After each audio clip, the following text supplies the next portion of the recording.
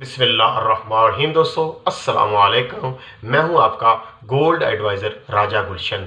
23 मई 2020 बरोज़ हफ़्ता है आज आज जो डॉलर पाकिस्तान में खरीदो फरोख्त हो रहा है, एक सौ बासठ रुपये में, रियाल चवालीस रुपये में। आलमी मंडी में सोने की कीमत है सत्रह सौ बत्तीस डॉलर, कल पैंतीस हो गई थी, तीन डॉलर की रात को कमी हुई है।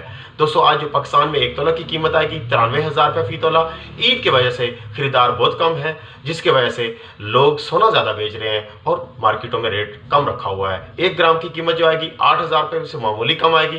दोस्तों, अगर आपने ये मेरा चैनल सब्सक्राइब, लाइक और शेयर किया तो फौरी कर दिया करें। तमाम दोस्तों को बहुत बहुत ईद की मुबारकबाद हो।